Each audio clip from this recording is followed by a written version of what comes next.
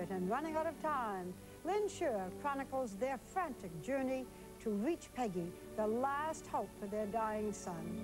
Stay with us. Alexia on young girls, but there is another face to this strange illness, and it belongs, surprisingly, to boys.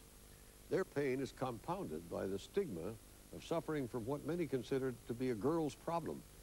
It happened to the boy you're about to meet. His life was ebbing away when his desperate parents saw our earlier report on anorexia. And as Lynn Sherr continues, this determined family is pursuing what may be a little boy's last hope. There's four of us all together. I'm in construction. I'm a sheet metal worker by trade. I've been married for 13 years. Monique's our youngest, and Ricky's 11. I had actually read an article one time on anorexia that talked about girls mostly girls. Your son, hook up. The article didn't specify that it could happen to boys. It said it was rare in boys, and I thought, why our boy? You know, why our boy? This liquid nutrition flowing into his body through a nose tube is the only thing keeping Ricky Rivera alive. Like an estimated hundreds of thousands of boys and men, he is tormented by anorexia. And although his body is deceptively filled out from the fluid, he is close to death. The Riveras have traveled thousands of miles in a motorhome from New Mexico to Canada with one purpose, save Ricky's life. It's hard. I don't care how tough you are. When it's one of your kids, it's a different story. Is there a special stigma for boys suffering from anorexia? I think it must be doubly hard for them because boys are meant to be a little stronger. But I also feel sure that when the world really understands the condition, it'll remove any part of that stigma. One of the things that we used to do was when he'd get out of the shower, I'd wrap him in a towel and, and just hold him there, you know, until steam went down. And it's been a long time since I've been in the, in the bathroom when he's showering. And he called me in and he said, Mom, can you come in and hold me for a little bit? And I walked in. He was a little skeleton. It took several doctors before Ricky was diagnosed with anorexia. Along in that article, it talked about how people die from this disease. And that our baby wouldn't make it. Like most parents, the Riveras blamed themselves for not seeing the early signs of the illness. We were in the store one day. Some of his peers from his school walked in there. And the second Ricky caught sight of him, he hid behind me. And I didn't realize how hard it was on him until then. It was really hard for him.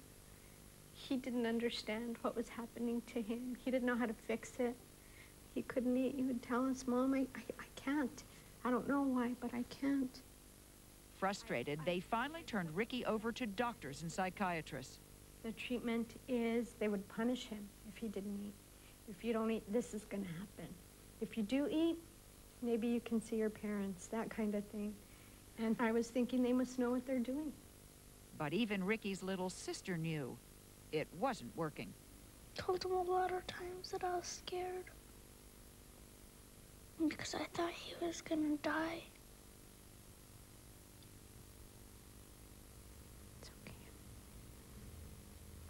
What's wrong with what the established clinics are doing and the established care?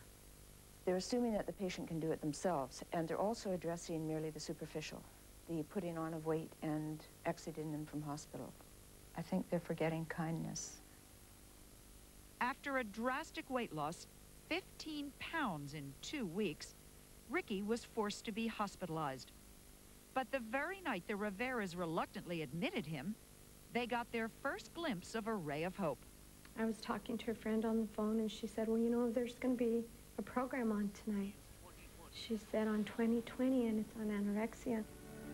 Tonight, a haunting journey into a world few people understand. Five minutes into the program, I knew this was it. I said, let's go. get up. What are we waiting for? Let's go get them out. Unmindful of obstacles and against doctor's orders, the Riveras pulled Ricky out of the hospital that same night and headed north. They were running for his life, trying to get him to Peggy Claude Pierre.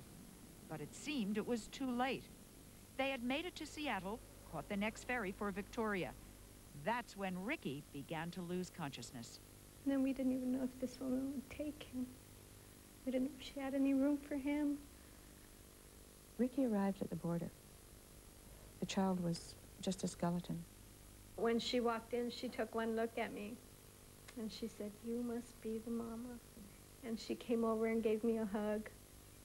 I'll never forget that hug because there was so much confidence and love. I knew we were in the right place.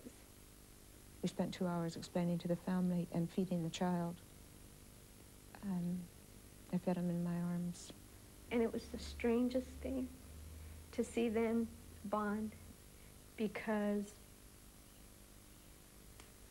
the doctors back home made it Ricky's responsibility. It's your responsibility to do this, this, this, and that. And she didn't. She turned that around and said, I'm assuming the responsibility. Like she understood what he was going through.